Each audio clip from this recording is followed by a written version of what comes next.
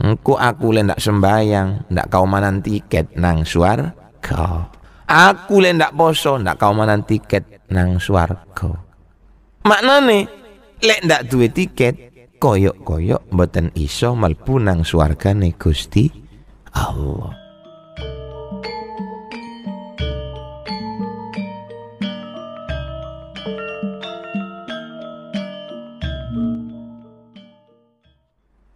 Konco-konco jamaah pengajian ingkang kula hormati, termasuk tanda-tandane tiang niku tetanggenan utawa gegondelan karo amal. Nggih niku sudone ngarep-ngarep rahmati Gusti Allah lek tepak awake niku ngelakoni keluputan utawa kesalahan. Jadi niki tanda-tandane wong niku lek tetanggenan datang amale umpomo de ngelakoni barang salah pengarep-ngarep datang rahmati Gusti Allah niku sudo mergo awake ngrasa salah. Saniki amal nopo sing pantas kangge digawe gondelan? Nggih tentune. Tentune amal sing api amal sing sae. Nopo amal sing sae? Yo diantarane salat zikir lian-liane apik nang wong ahli sodako ahli ngandani wong ahli ngaji Lho, napa wonten tiang sing tetanggenan kali amal sing modele kaya ngoten wonten. Dadi lek tiang ahli ibadah sing pancene ibadah niku digawe tetanggenan, mereka itu punya harapan bahwa dengan ibadahnya mereka itu akan masuk ke dalam surga tempat rahmati Gusti Allah.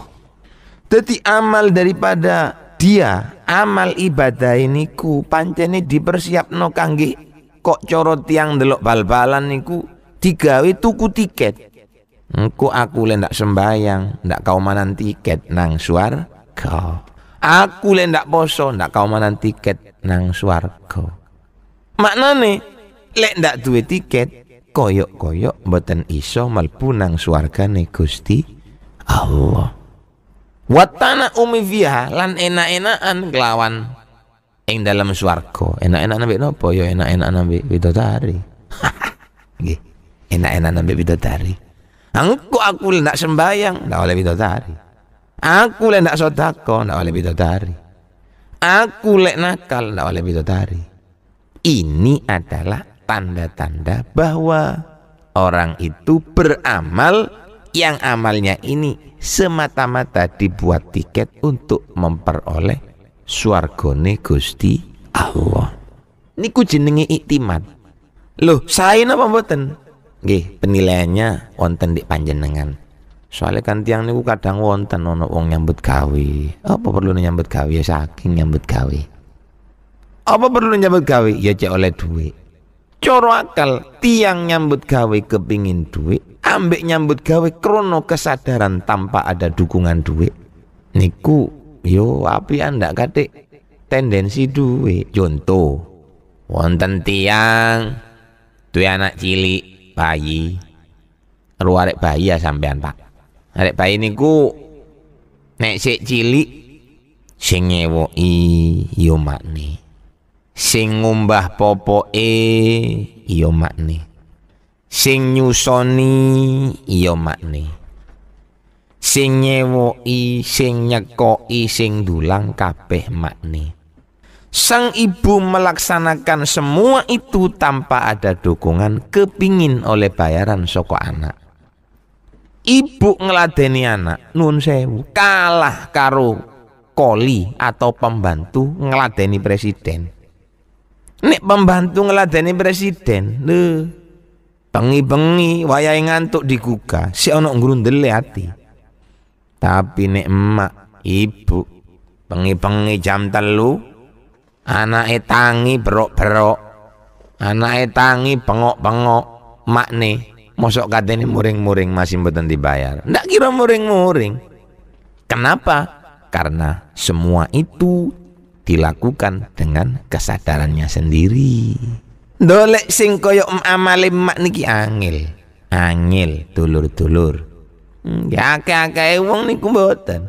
Ngelakoni apa mawon kepingin bayaran. Sampai nyambut gawe nang jeragan, apa perlu nih? Ya kepingin dibayar. Saulane biro. Lo dibayar ngoten golek penggaweane terlambas. Bayaran ini kurang larang metu golek jeragan liya. Lho ndolek koli sing ndak amrih bayaran niku angel saestu. Nek duduk krono metu saking cinta sing mendalam remen sing jero ndak iso. Kaya wong kait sirisiran ngoten lho Pak. Nggih. Wong sirisiran niku lek kadung kait kenal nang sirisiran niku masyaallah Aja bapak dikongkon goceng teko kene nang Probolinggo masih dikongkon goceng teko Pasuruan nang Jakarta ndak kroso.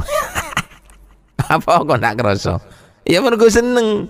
Dia melakukan sesuatu berdasarkan cinta bukan karena hal yang lain. Wapi ngoten niku. Sangat apike lelek wong ahli ibadah mboten. Dek cakang ibadah. Napa kok cakang ibadah?